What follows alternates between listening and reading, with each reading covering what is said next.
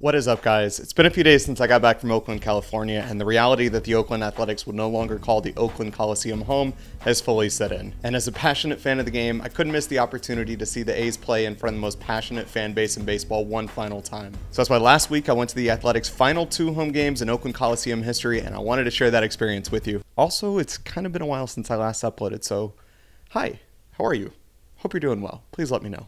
My trip to Oakland started no different than my first time out there in 2014, with eagerness to see live baseball in one of MLB's most atmospheric venues. Of course, the Coliseum, which is the last remaining multi purpose stadium in baseball, feels sort of stuck in time, serving as a look into the past to an era where these cookie cutter behemoths were lovingly referred to as concrete donuts. Making the walk from my hotel down Coliseum Way invoked the same excitement I'd gotten from every visit to Oakland over the years, but there was something in the air that was hard to describe won't lie, this feels very surreal to be here right now. It's also like three hours before first pitch, second to last game, and uh, yeah, wow, it's surreal.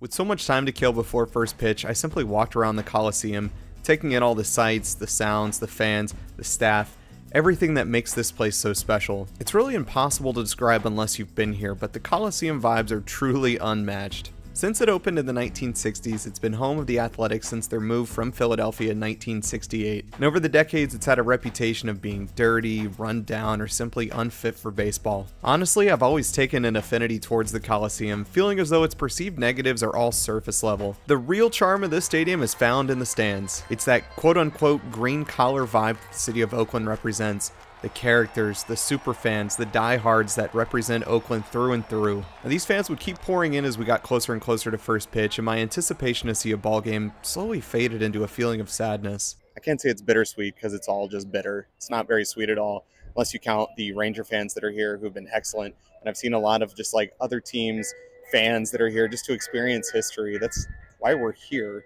Wanted to come and experience a fun, exciting ball game, and hopefully we'll get that. But this is the first time I've been in a ballpark where I truly just felt sad. Baseball's got magic healing powers to make you feel better, and we'll see if that happens. The A's would lose this Wednesday night game a final score of 5 to 1. In just 12 hours, this place would see its final home game during a legacy history that hoisted four World Series trophies in nearly six decades. And honest to God, this final home game absolutely flew by, and the sellout crowd would go on to witness a 3 2 victory. Of course, there's many moments that stand out Barry Zito's national anthem, the flyover, the crowd atmosphere and the chants, and of course, the final out.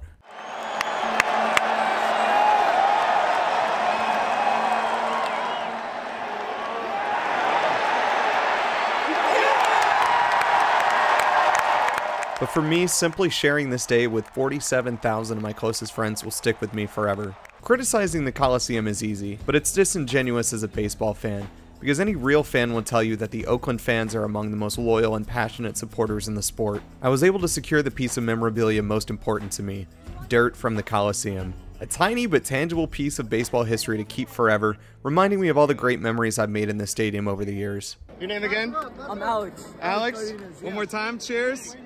This is Oakland Dirt. I'm not going to drink it. Yeah. but cheers.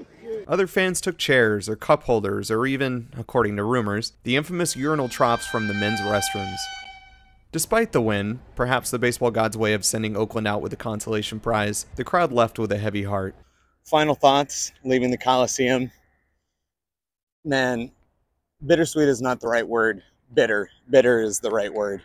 A's win, but no one's happy. This was the last one in Oakland Coliseum history. I'm holding in my hand some dirt from the Coliseum. There's about 10 ounces of it. It's a big part of baseball history. There's some shit on the sidewalk.